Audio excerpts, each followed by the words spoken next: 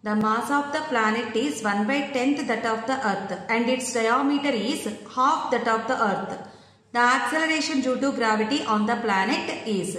We know acceleration due to gravity on the surface of the earth is equals to gm by r square where r is the radius of the earth. Diameter is equals to 2r. Then r is equals to diameter by 2.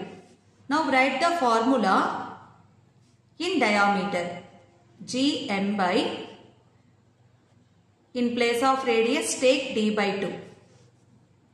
Then acceleration due to gravity on the surface of the earth is equals to 4 gm by d square.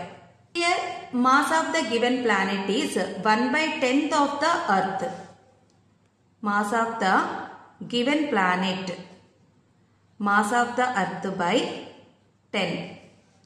And the diameter of the planet is equals to half that of the earth. d by 2.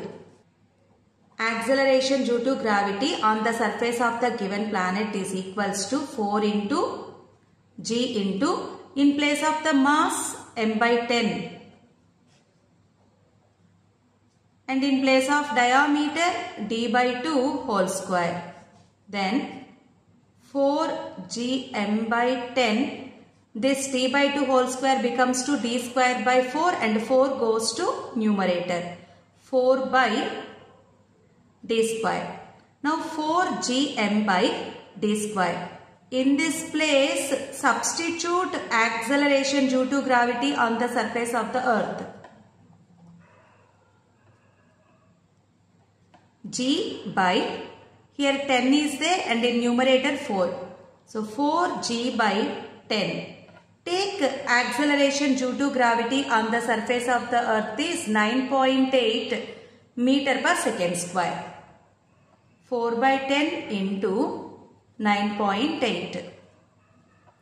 Then 0.98 into 4. 3.92 meter per second square. So the acceleration due to gravity on the surface of the given planet is 3.92 meter per second square. Fourth option is correct.